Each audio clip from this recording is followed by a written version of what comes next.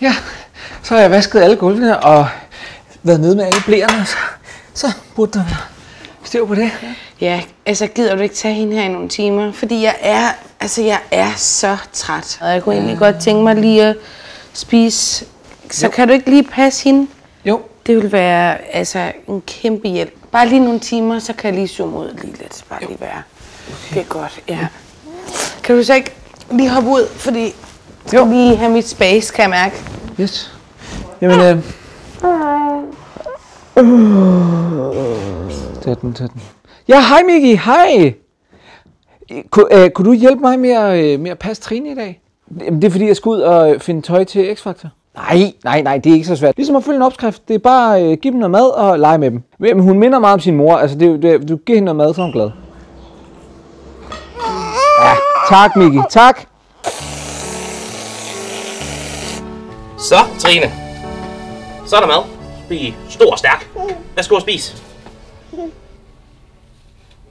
Ja. Okay. Ind i munden. Mam, mam.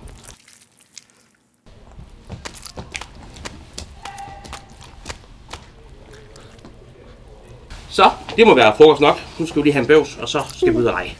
Kom. Uh. Uh. Sådan. Sikke en god bøvs. Rigtig godt. Nu skal vi altså ud og lege.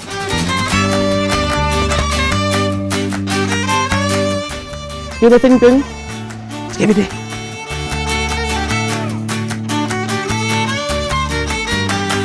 Så skal vi gynge. Nu er vi her. Ja. Og du skal sidde her. Så. Og kan du holde fast? Brug lige fingrene her. Du skal lige holde fast, ikke også? Kan du, kan du ingenting? Hvad? Jeg har en idé.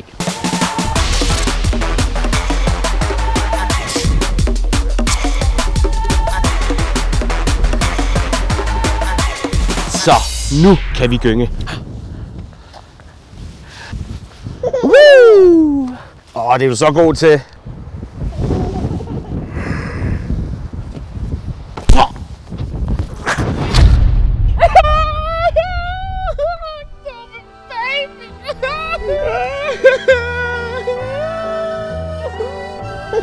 Oh